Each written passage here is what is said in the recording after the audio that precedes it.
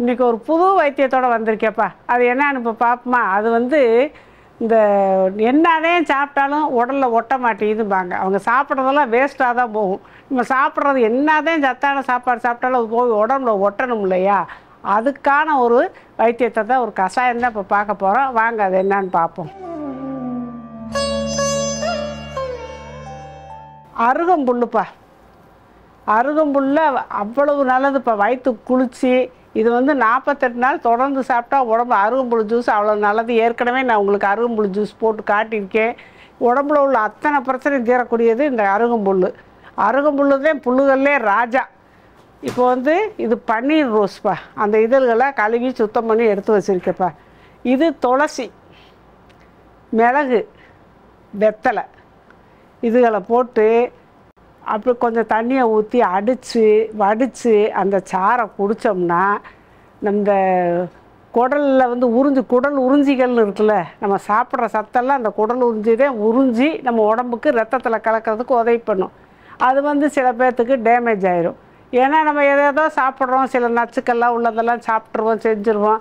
அது வந்து அந்த குடல் உறிஞ்சியை வந்து பலமில்லாமல் பலத்தை இழக்க வச்சிரும். அதை வந்து நம்ம சரி பண்ணுறதுக்கு தான் நம்ம இந்த மாதிரி அப்படி ஒரு மாதிரி உடம்புக்கே ஒன்றும் ஒட்டலை. என்ன சாப்பிட்டாலும் ஒரு மாதிரி அசதியாக வருது. நான் நல்லா தான் சாப்பிட்றேன். ஏன் இப்படி எனக்கு அசந்து அசந்து வருது? ஒரு மாதிரி இருக்குது அப்படின்னு சொல்கிறவங்கெல்லாம் ஒரு ஒரு மாதத்துக்கு நாள் இந்த மாதிரி. நீங்கள் எந்த நேரமாக அது உங்களுக்கு சௌரியப்பட்ட நேரம் வெறும் வயத்தில் தான் குடிக்கணும்ல. எந்த நேரமாக ஒரு நேரம் நீங்கள் வச்சு குடிங்க. சூப்பராக உங்களுக்கு நீங்கள் சாப்பிட்றது வந்து உங்கள் உடம்புல ஒட்டும். இதுக்காக வேண்டி இப்போ நான் இதை மிக்சியில் போட்டு என்னென்ன போடுறதுன்னு உங்களுக்கு காட்டுறேன். இப்போ இந்த அருகம்புல்லுப்பா இது வந்து ரத்தத்தை சுத்தம் பண்ணக்கூடியது உடம்பை கூல் பண்ணக்கூடியது. இதை நாற்பது நாள் நம்ம குடிச்சு வந்தோம்னா நம்மளுக்கு உடம்புல இருக்க அத்தனை பிரச்சனையும் தீரும். நம்ம வாட்டில் வெடுப்பு அலையலாம். அதனால் நான் இப்படி மூணு விரலில் பிடிச்சி இப்படி போடுங்க. பொடிசாக நறுக்கி வச்சது தான் கழுவி பொடிசாக நறுக்கி வச்சுருக்கு. இந்த ரோஜா இதழ்கள் ஒரு மூணு பூவு அதை வந்து எதில் எதெல்லாம் பிச்சு அலசிட்டு இப்போ வச்சுருக்குப்பா அதையும் நம்ம ரோஜா இதழ்களையும் நம்ம போட்டுக்கலாம். ரோஜா இதழ்கள் வந்து பிபி ப்ரெஷரெல்லாம் குறைக்கும். துளசி. நம்ம தமிழ்நாட்டில் நம்ம இந்தியாவில் தான் இ- தமிழ்நாட்டில் இந்தியாவில் ஃபுல்லாக துளசி எல்லார் வீட்லேயும் வச்சுருப்பாங்க. எல்லாத்துக்கும் எல்லா வைத்தியத்துக்கும் சிறந்ததுப்பா. நச்சுகளை நீக்கக்கூடியது. அதை வந்து கொஞ்சம் போட்டுக்கலாம். இந்த மூணு விரலில் எடுத்து போட்டால் போதும். இப்போ பூரா நம்ம குளிர்ச்சியான பொருள்களாக சேர்த்துருக்கோம். அந்த துளசி கொஞ்சம் சூடு. அந்த அருகம்புல்லும் ரோஜா பூவும் வந்து ரொம்ப குளிர்ச்சி. அதனால் சளியில் எல்லாமே பிடிக்காமல் இருக்கிறதுக்காக வேண்டி மிளகு ஒரு அஞ்சு மிளகு மட்டும் நம்ம போட்டுக்கலாம். அஞ்சாறு மிளகு போட்டுக்கிட்டு வெத்தலை ஒன்றே ஒன்று போட்டுக்கலாம்ப்பா. இது வந்து செரிமானத்துக்கு நல்லது. வெத்தலை போடுறப்ப யாருக்குமே அந்த காலத்தில் நோயே வரல. இப்போ வெத்தலை போடாமல் விட்டாங்க சகல நோய் வருது. அதனால் வெத்தலையை போடுங்க போடுங்க போடுங்கன்னு நான் சொல்லிக்கிட்டே இருக்கேன். எல்லாரும் அதை அனுசரித்து நீங்கள் அதை எப்படியா வாரத்தில் ஒரு நாளாவது நீங்கள் வெத்தலை போடுங்க. இந்த மாதிரி இதில் செய்யும் போது நம்மளுக்கு நல்ல நல்ல பலன் கிடைக்கும். அதனால் இந்த ஒரு வெத்தலையை வந்து காம்பை கிள்ளிட்டு போட்டாச்சுப்பா. கொஞ்சமாக தண்ணியை ஊற்றி நம்ம மிக்சியில் அடிச்சிட்டு வருவோம். இப்போ இந்த மூணு மூலிகையும் போட்டு முக்களவை மூலிகை சாறு அரைச்சி ரெடி ஆயிடுச்சு மிக்சியில் அரைச்சாச்சு. இப்போ வந்து நான் வடித்து காட்டுறப்ப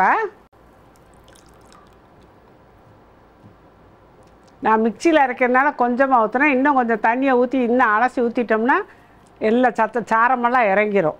முக்களவை மூலிகைச்சாறு ரெடி இப்போ நம்மளுக்கு என்ன தான் சாப்பிட்டாலும் நம்ம உடம்புல சேரலை அசதியாக வருது கிறக்கமாக வருது நல்லா தான் சாப்பிட்றோம் இருந்தாலும் எனக்கு சத்து சேர மாட்டேங்குது அப்படின்னு இருக்கவங்க வந்து நல்லா உடம்பு சாப்பிட்ற சத்தான உடம்புலாம் உணவெல்லாம் உடம்புல சேரணும்னா இந்த நம்ம முக்களவை மூலிகை சாறு.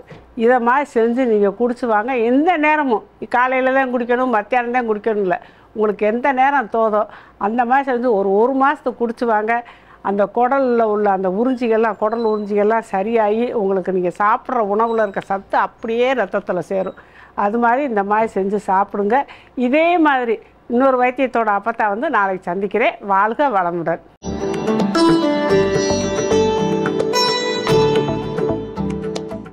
Watch it only on BS Salute.